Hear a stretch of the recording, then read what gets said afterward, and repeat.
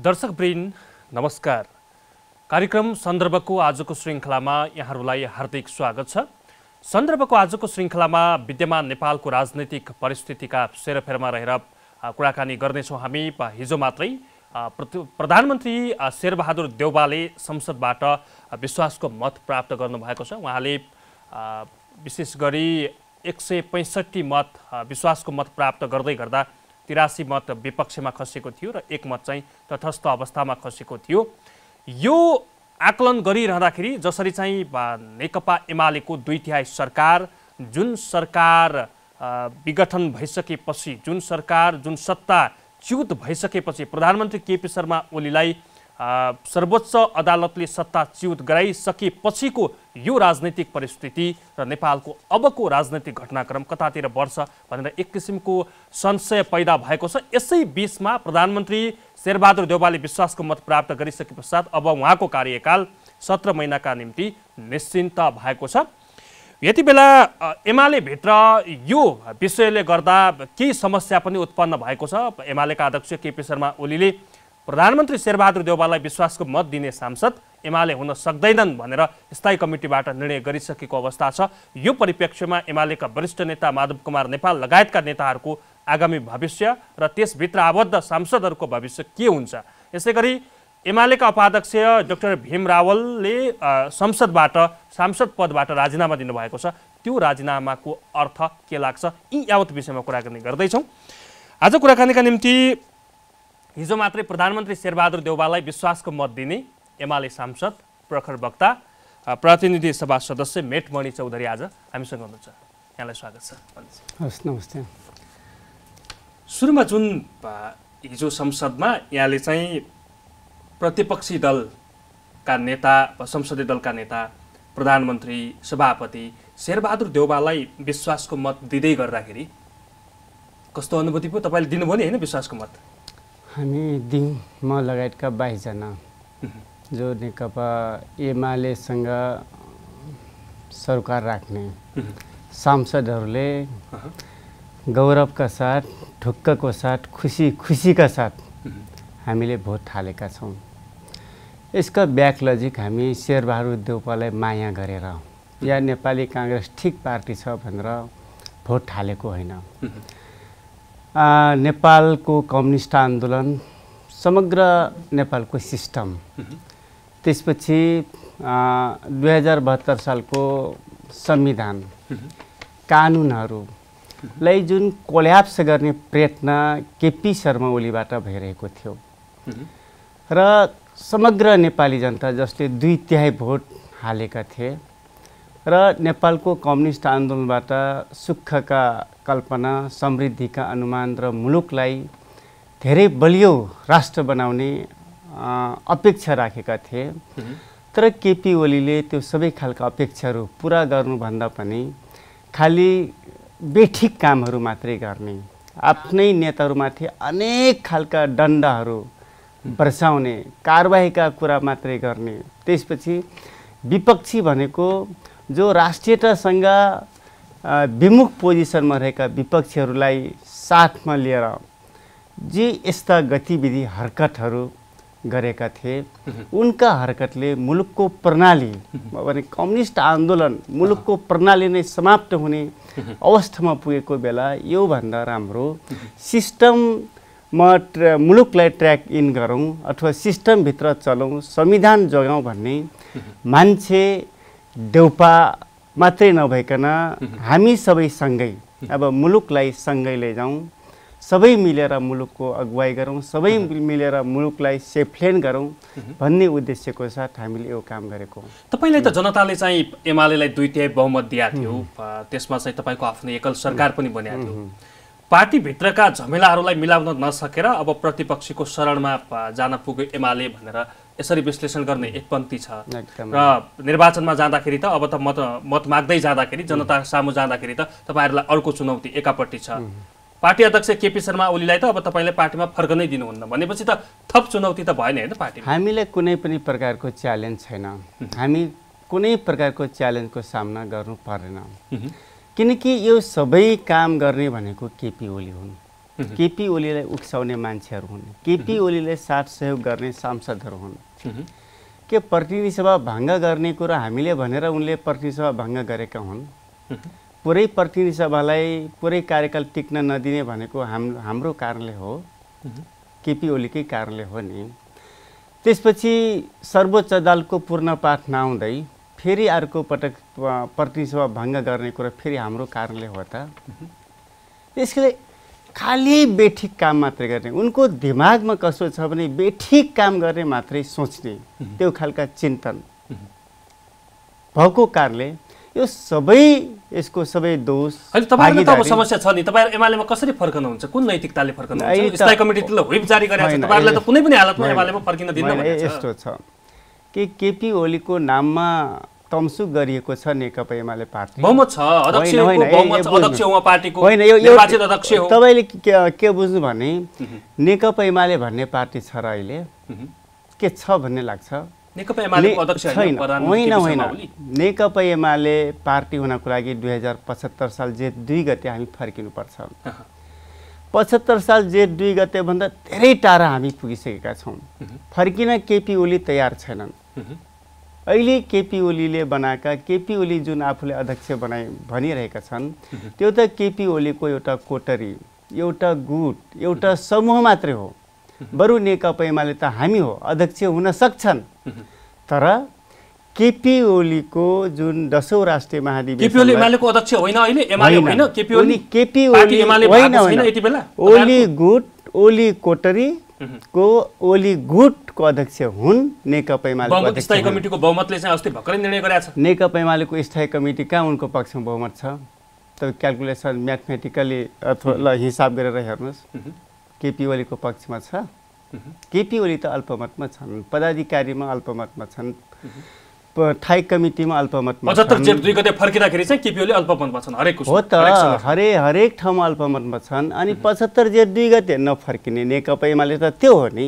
अनि आज यो ठाउँमा आइसकेपछि सारा एमाले नभएका मान्छेलाई केन्द्रीय कमिटीका सदस्य बनाएका छन् आफ्ना गुटका मान्छेलाई जिम्मेवारी दिएका छन् अनि उनी एमालेका अध्यक्ष हुन सक्छन्। कोटरी गुटको अध्यक्ष बाहेक अरू केही हुँदैन त्यसैले केपी ओलीले कारवाही गर्छु भन्नु दम्भ गर्ने कुरा त्यसपछि एमालेमा नाउ भन्ने कुरा यो असम्भव कुरा। यो स्थिति सिर्जना हुँदै हुन्न तपाईँ बुझ्नुहोस् अब केपी ओली नेकपा एमालेमा रहनै सक्दैनन्। किनकि दुई तिहाई अराउन्ड कम्युनिस्ट पार्टीको सरकार बनेको बेला त्यसको अगुवा त्यसको नेतृत्व नेकपा एमालेको अध्यक्ष भइरहेको बेला नेकपा एमालेलाई यो ठाउँमा पुर्याउने केपी ओली दुई तिहाईलाई आधा आधा बनाउने केपी ओली त्यसपछि भएको नेकपा एमालेका सांसदलाई आफूसँग नराख्न सक्ने केपी ओली कुन नैतिकताले नेकपा एमालेमा बस्छन्? कुनै नैतिकता हुन्छ? त्यस कारणले अब केपी ओलीसँग नेकपा एमालेको अध्यक्ष रहने कुरा संसदीय दलको नेता रहने कुरा असम्भव सम्भव छैन।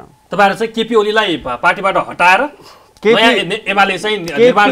जसरी प्रधानमन्त्रीबाट हामीले हटाएका छौँ अब सग्लो नेकपा एमाले बनाउनको लागि बलियो नेकपा एमाले बनाउनको लागि सम्भव छ तपाईँले बहुमत छ अहिलेको अवस्थामा?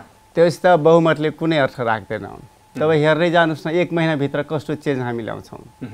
अनि सबैभन्दा ठुलो कुरो मुलुकलाई अगुवाई गर्ने नेता नेतृत्वमा एउटा दृष्टिकोण हुनुपर्छ विचार हुनुपर्छ। हामीले विचारले मुलुकलाई पार्टीलाई समूहलाई नेतृत्व गर्ने हो विचारले दृष्टिकोणले। अनि ठुलो समूह धेरै मान्छे छन् भनेर नेतृत्व हुन सक्थेन। कुनै बेला इन्डियामा सारा काङ्ग्रेस आए मात्रै थियो नि। आज काङ्ग्रेस आएको हालत हेर्नुहोस् कुन पोजिसनमा छ?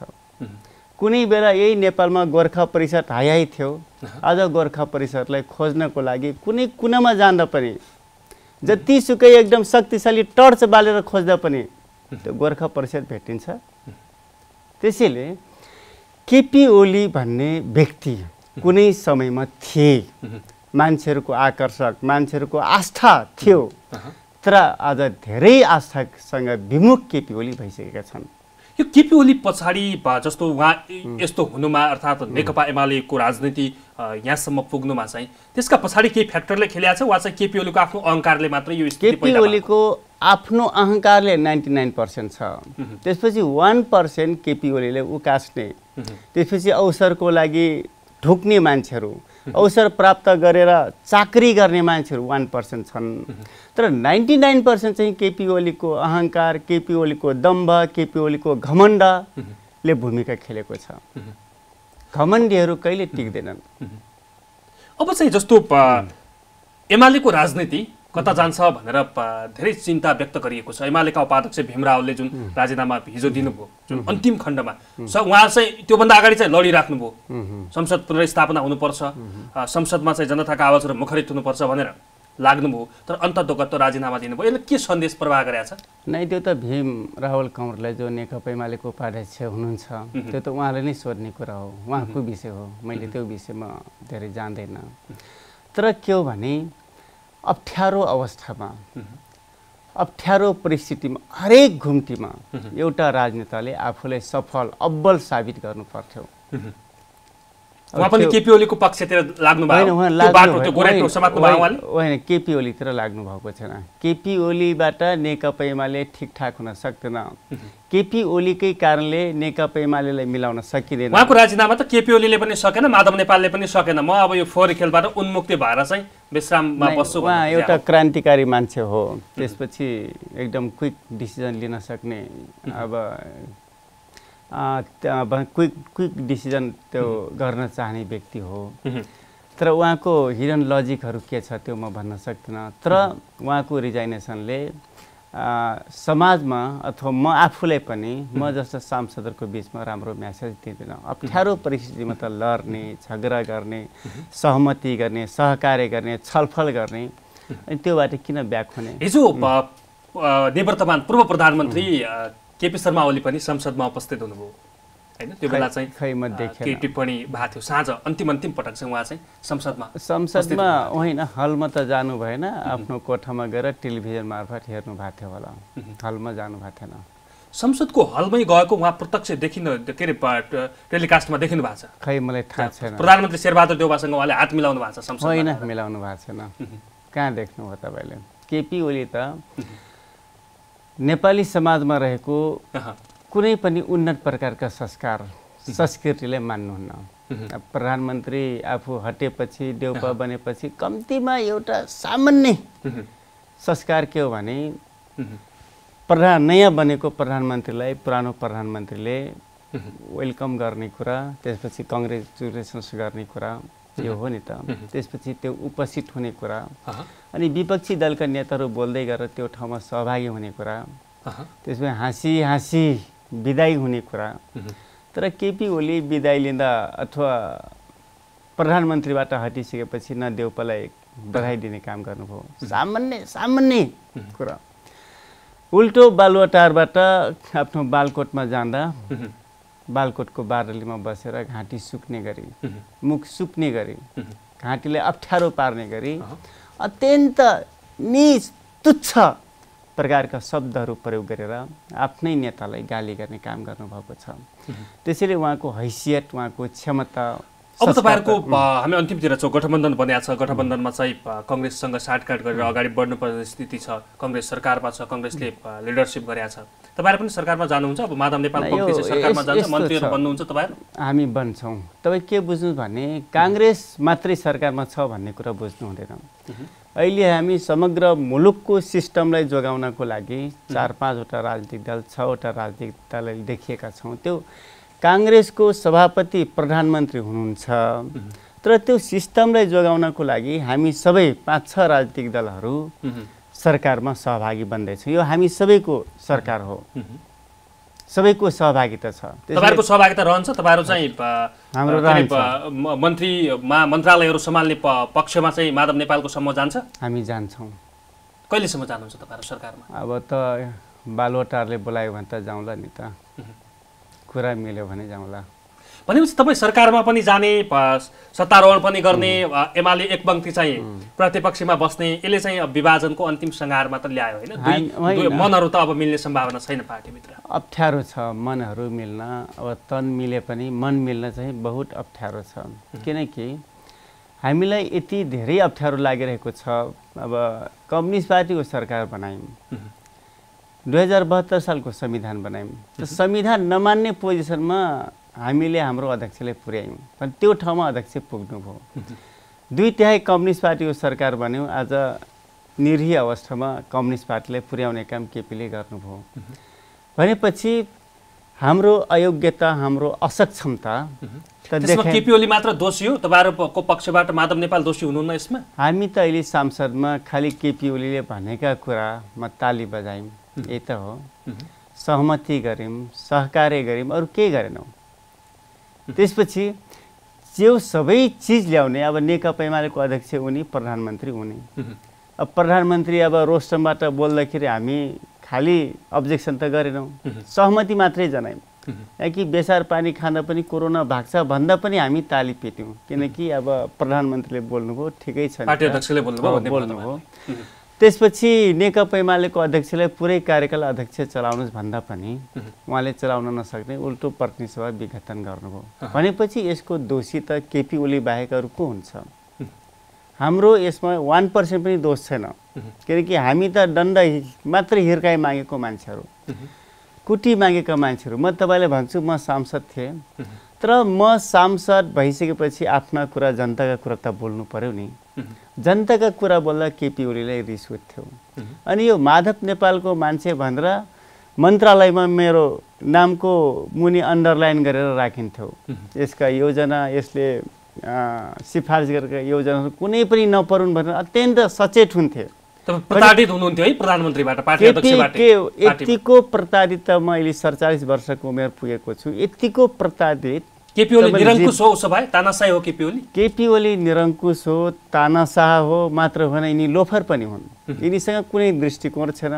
आफ्ना मान्छेलाई हिर्काएर अरूको साथ लिएर सत्ता चलाउन खोज्ने यो जतिको लोफर अरू के हुन सक्छ? त्यसैले यिनीसँग धेरै पुरानो जुन चौथो शताब्दीतिर डिभाइड एन्ड रुल अहिले पनि इन्डियाले गर्छ फोर र विभाजन गर। अहिले पनि केपी ओलीले विभाजन गर्ने हिर्काउने अप्ठ्यारोमा पार्ने समस्यामा पार्ने अनि आफ्नो पक्षमा तान्ने। अन्तत गन्त चाहिँ अब यो सरकार चाहिँ कति समयसम्म चल्छ यो सत्र महिना निरन्तर जान्छ होला। त्यसपछि चाहिँ निर्वाचनमा चाहिँ तपाईँहरूको अलग्गै गठबन्धन बन्छ वा चाहिँ केपी ओली अझ सुध्रेर आयो भने अब सग्लो एमाले बन्नुपर्छ भन्ने पक्षमा हुनुहुन्न तपाईँहरू? यो सरकार अब छोटोमा। यो सरकार सत्र महिना प्लस छ महिना सत्र प्लस छ महिना चल्छ। हामी छ महिना अलि पर धकेल्न सक्ने सम्भावना छ किनकि हामी धेरै काम गर्न पाएको छैनौँ। त्यसपछि कमिङ इलेक्सनमा के हुन्छ भने अब हामी केपी ओलीले करेक्सन गर्न सक्यौँ भने ठिक छ। केपी ओली आफूले करेक्सन गरे भने ठिक छ। या स्वतः रिजाइनेसन गरे भने ठिक छ। केपी ओली सहित आउँदा पनि हुन्छ वा चाहिँ केपी ओली बाहेकका नेताहरूलाई चाहिँ पार्टीमा ल्याउने वा केपी? ओलीबाट त अध्यक्ष हुने कुरा संसदीय दलको नेता हुने कुरा सम्भवै छैन। तपाईँहरू अब चाहिँ अध्यक्ष मान्न तयार हुनुहुन्न अध्यक्ष? पनि मान्दैनौँ संसदीय दलको नेता पनि मान्दैनौँ किनकि जे जति एमालेलाई यो ठाउँमा पुर्याए रसातालमा पुर्याए मान्छेहरूको बिचमा जानै नसक्ने ठाउँमा पुर्याए त्यो त केपी ओलीको कारणले हामीले पुगेका छौँ नि त त्यसै यस्तो व्यक्तिलाई देखेर यो व्यक्तिको अनुहार देखाएर फेरि निर्वाचनमा फेस गर्न सक्ने कुरा सम्भावना हुन्छ सम्भव हुन्छ। त्यसैले अब नेपालमा भएका सबै कम्युनिस्ट पार्टीकोहरूको बिचमा हामी पार्टी एकता गर्छौँ। र त्यही पार्टी एकता बनाएर हामी निर्वाचन फेस एकीकृत कम्युनिस्ट पार्टी बन्छ अब एकपा बन्छ। एकीकृत कम्युनिस्ट पार्टी बन्छ? एकीकृत कम्युनिस्ट पार्टी बन्छ। उपेन्द्र यादव समेत त्यो पार्टीमा रहन्छन् विप्लव समेत रहन्छन्। र हामी फेरि पनि यो मुलुकको लार्जेस्ट पार्टीको रूपमा स्थापित हुन्छौँ। तपाईँहरूको सबैको गठबन्धन बनेर चाहिँ नयाँ कम्युनिस्ट बन्छ कम्यु- बन्छ। नयाँ कम्युनिस्ट अब एमाले। रहँदैन। त्यस- त्यसमा ओली रहँदैनन् अब एमाले रहँदैन। ओलीले त्यो बेला लिन सक्छ। एमाले पनि रहँदैन ओली पनि रहँदैनन् नै ओली रहँदैनन् नेकपा एमाले रहन सक्छ। तर विशाल कम्युनिस्ट पार्टी हाम्रो हुन्छ ठुलो पार्टी हाम्रो हुन्छ र फेरि मुलुकलाई नेतृत्व गर्ने ठाउँमा हामी पुग्छौँ। त्यो तपाईँहरूको अन्तिम डिसिसनमा पुगिसक्नु भएको छ यो छलफलमा पुगिसक्नु यो त पुग्नु पर्यो नि त। यो पुग्नुपर्छ हामी पुगेका छौँ। हस् समय संवादका लागि यहाँलाई धेरै धेरै धन्यवाद। हवस् नमस्ते। दर्शकवृन्द कार्यक्रम सन्दर्भको आजको श्रृङ्खलामा प- पछिल्लो समय मुलुकमा विद्यमान राजनैतिक परिस्थिति एमालेको भविष्य यी अन्यलता जटिलताका विषयमा पेरिफेरीमा रहेर कुराकानी गऱ्यौँ। आजका लागि सन्दर्भको समय सकिएको छ। खेम्बम बिदा हुन्छु। नमस्कार।